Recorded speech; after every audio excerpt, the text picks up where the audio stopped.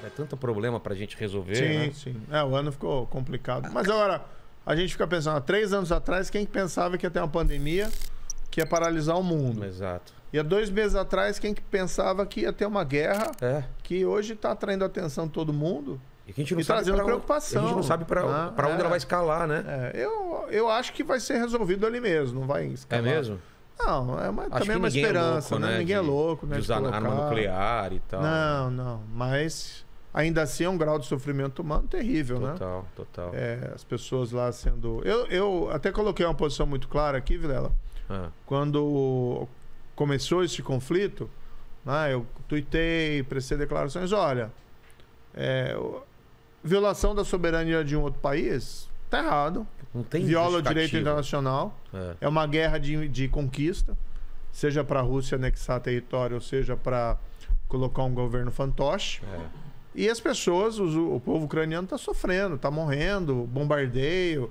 E assim, para quê, né? Para que isso? Ah, eu, eu não Qual que é imaginei que, a gente ia viver isso no- nos tempos atuais, né? Guerra na Europa, né? É. A gente teve lá na década de 90 até aquela guerra da Bósnia, É. mas foi um negócio assim um pouco mais localizado. Agora você tem uma superpotência envolvida, realmente gera uma série de preocupações. E a gente tem uma grande comunidade ucraniana aqui, tem mais de 600 mil Ah, é? brasileiros de origem ucraniana, sabia, muitos lá no Paraná, Ah, mais pro sul, então? É? mais para o sul. Não, no Paraná é a maior colônia Caramba. de, de ucraniano, o pessoal sofrendo, até eh, eu cheguei a entrar em contato com alguns que eu conhecia, e aí, o que vocês estão vendo, como é que vocês estão achando tal.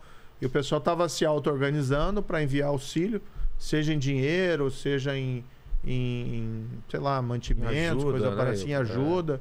E muita gente com amigos, né, com parente.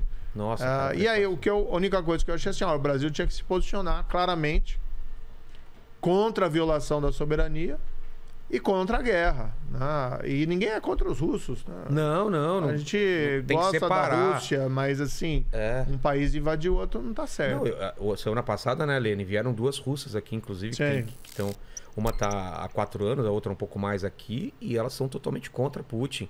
Falou que o pessoal até era simpático a ele no começo, porque ele realmente trouxe uma estabilidade, mas que ele foi enlouquecendo. Então, assim, o povo russo não tem nada a ver. E eles não podem é, se manifestar lá. Sim, a gente tem visto essas cenas, né? De É, gente vai lá preso. com cartaz. Não, ela falou o seguinte: É. se você se manifesta uma vez, você fica preso uma noite.